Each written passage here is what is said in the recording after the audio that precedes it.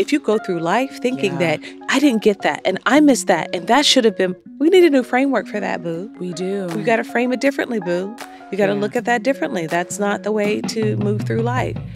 That wasn't meant to be yours. But what is coming to you is coming. Mhm. I, I don't, as an actor or a businesswoman or as a mother or as a human, live in the world of scarcity.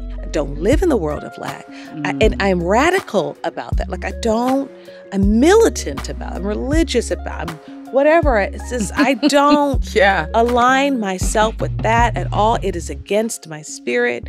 This world is about abundance. Yes.